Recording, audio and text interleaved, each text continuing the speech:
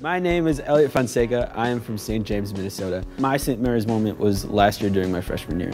Um, I had been talking to other of my friends and just, they'd asked me how school was going and I told them, you know, it's honestly one of the best decisions I've ever made. And I told them about all the different opportunities that I've had here. My dream job, my dream career is to be a youth minister um, at a parish or teaching in a high school.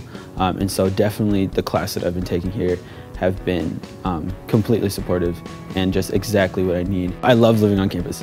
Um, it's a small campus, which means I can walk anywhere. It's easy to meet other people, go to certain offices if I need to work, go to the library, go get food for dinner or breakfast. So I'm the first person in my family to graduate from high school, um, which means I'm the first person to go to college.